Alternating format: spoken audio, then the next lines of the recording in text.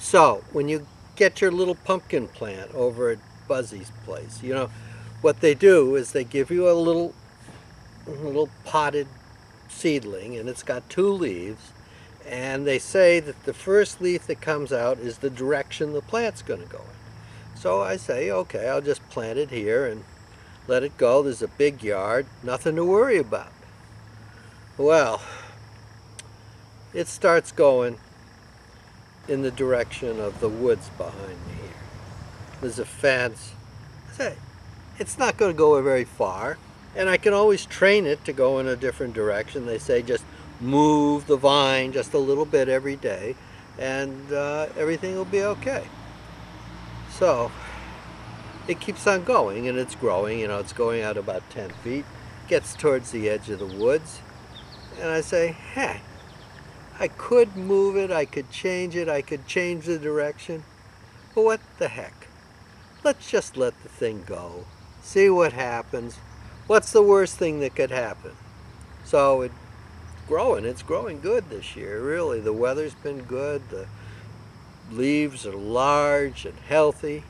So it gets towards the edge and I see a blossom and a little pumpkin growing but the vine keeps on going, you know, it keeps on going. And uh, then it hits the edge of the woods and there's the pine tree behind it. And these tendrils, they have little tendrils that wrap around everything. And, and so, uh, yeah, so I say, okay, we'll see what happens. It starts growing up.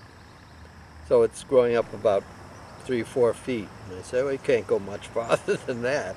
How is it going to grow any farther than three or four feet off the ground?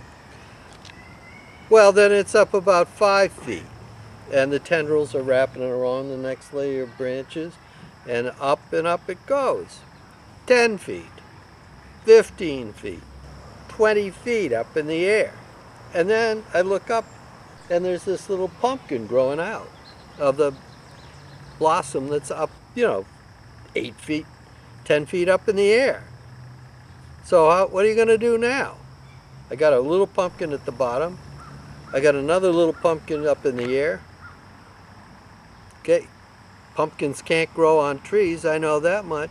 They weigh too much. Is it going to break off? I could put a bag or something under it.